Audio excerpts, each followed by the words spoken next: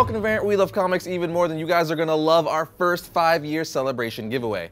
Today we're talking about a lesser known DC character, but one who's not gonna stay that way for long, because back in mid-May, the CW gave us our first look for his upcoming new live action series. Yes, I'm referring to Black Lightning. But first, we're kicking off our five year anniversary give back to you guys with round one of awesome prizes. And for this week's giveaway, we've partnered once again with the good people over at Sideshow Collectibles for three awesome prizes. For today's giveaway, the third place winner will get this awesome Hot Toys exclusive six scale Joker Batman imposter figure, which is based on the Suicide Squad Joker. The second place winner will be getting the Hot Toys 6 scale Ultron Mark 1 figure from Avengers Age of Ultron. And finally, the grand prize winner will get this freaking glorious 6 scale Return of the Jedi Darth Vader by Sideshow Collectibles. Sweet baby Jesus in a manger, I want all of these for myself, but they're not for me, they're for you. So to enter the giveaway, all you have to do is go to variantcomics.com forward slash giveaways between today, July 13th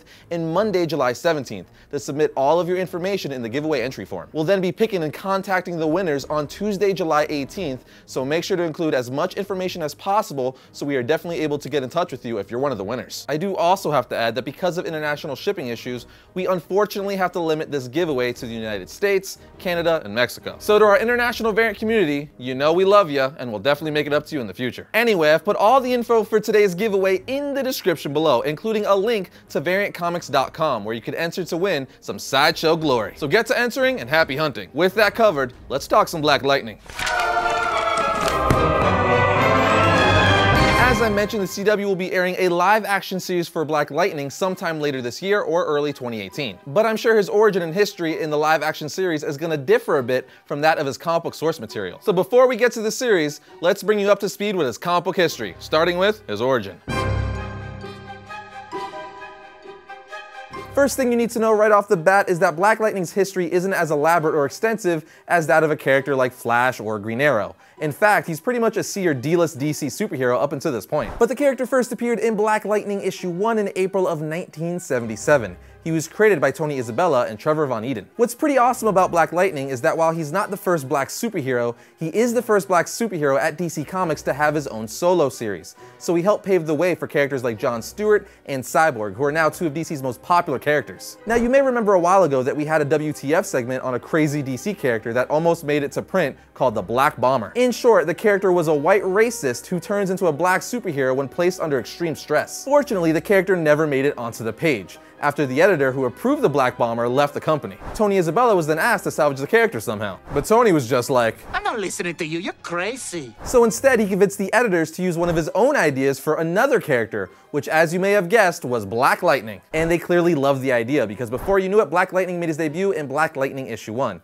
But the series was short-lived and only lasted 12 issues. But going back to the Black Bomber for a second, Dwayne McDuffie actually made a callback to the character in 2008's Justice League comic with a character called the Brown Bomber. It was basically just a test to see how ridiculous the character would have been.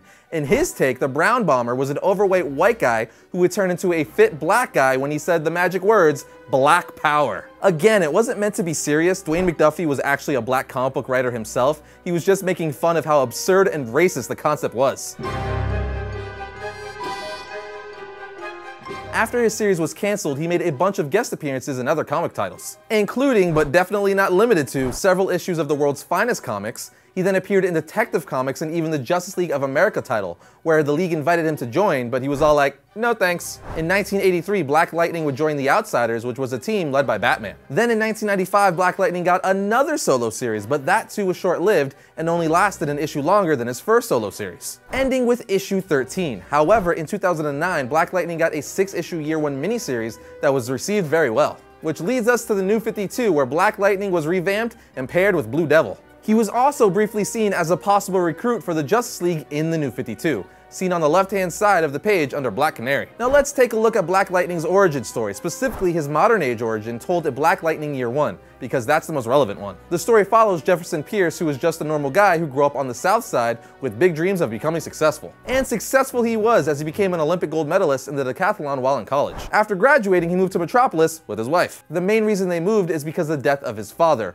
renowned journalist Alvin Pierce. He was killed after attempting to go public with the scams of a local con man named Tobias Whale. Jeff had been the principal at several schools and became widely respected for all the good he was doing in the neighborhoods and schools. Because of this, the Wayne Education Trust, good old Bruce Wayne, gives him a grant to come back to the South Side to try to clean things up. When Jeff accepts the offer and returns, he sees how bad it has become mainly because of the Gang the 100 and Tobias Whale, and he decides to do something using his hidden electric powers. You see, Peter Gambi, a family friend and tailor, taught Jefferson when he was young how to suppress his inborn metahuman abilities, so that he wouldn't accidentally hurt any of the people he loved, although his wife would discover he had these powers while he was having a nightmare and his powers accidentally went off a bit while he was next to her in bed. So, I guess nobody's perfect. But it was the same family friend Gambi who told Jeff that he should now use his powers to help restore his old neighborhood, and he shows him to a plaque that said, just justice like lightning should ever appear to some men hope, to other men fear. After showing Jeff the plaque, Peter says, Evil people killed your father. They nearly killed this community.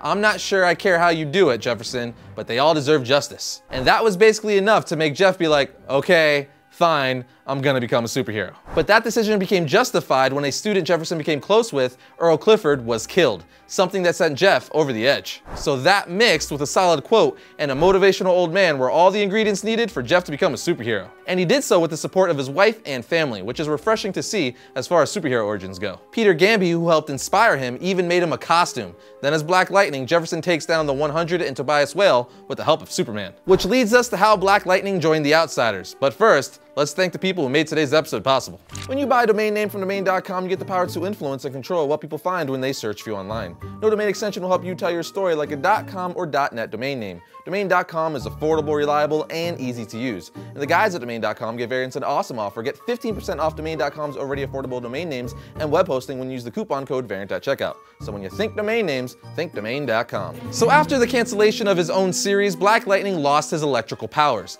but that didn't stop him from fighting without them. The loss of his powers turned out to be psychosomatic due to the accidental death of a female bystander named Trina Shelton during a fight between Black Lightning and some gun-wielding thugs. But Batman, wanting to recruit Black Lightning to rescue Lucius Fox, helped him regain his powers, which eventually led to him joining Batman's Outsiders. In fact, Jeff is actually one of the founding members of the Outsiders, along with Batman, Geoforce, Halo, Katana, and Metamorpho. Black Lightning was later invited to join the Justice League during the Satellite years and initially turns down the offer, but joins a new version of the League later on, fighting alongside Batman, Superman, Wonder Woman, Red Tornado, Flash, Vixen, Green Lantern, Red Arrow, and Black Canary. In the New 52, there's not much to say about Black Lightning other than what I said earlier in the episode, which is that he was partnered with Blue Devil and that he was a possible recruit for the Justice League. And as for Black Lightning appearing in DC Rebirth, I don't think he's made an appearance as of the date of this episode. I could be wrong, but I don't remember seeing him.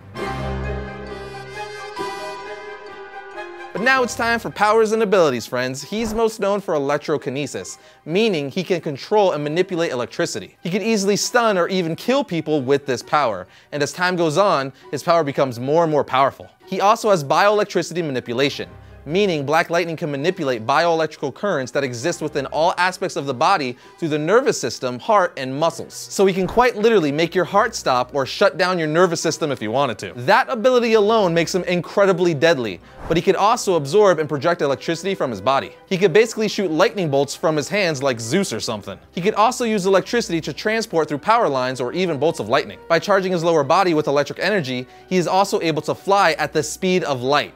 Yes, he can actually move at the speed of light, which is just insane. Additionally, he has the ability to heal people by absorbing electrons and using them to stimulate molecules and renew damaged cells. Black Lightning can also manipulate matter on a telekinetic scale with the use of electromagnetism. And he actually has way more powers and abilities, but in short, he's a highly underrated superhero, especially from a power standpoint. But even though he is underrated, he has appeared briefly in other forms of media besides comic books, like the Young Justice series, the Superman Batman Public Enemies animated movie, Justice League Crisis on Two Earths, and so on.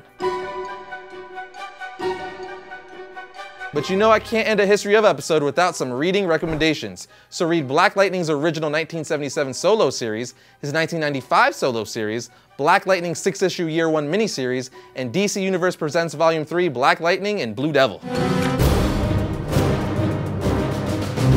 First up for Wednesday, July 12th, we have Spider-Man 2 Issue 1. This is the sequel to the popular first Spider-Man miniseries, and it's definitely going to be fun to see what Miles Morales and Peter Parker are up to in this series. Now we have Weapon X Issue 5. The mysterious new director for the Reform Weapon X program has assessed the data from the latest Adamantium cyborg attack, and the results look good. Next is Violent Love Issue 6. This is a series about Daisy Jane and Rock Bradley, two of the most notorious bank robbers in the American Southwest, who fall in love with one another. Here we have The Flash issue 26. If you've been waiting to read an awesome reverse Flash storyline, this is it. And finally, we have Dark Days, the casting issue 1.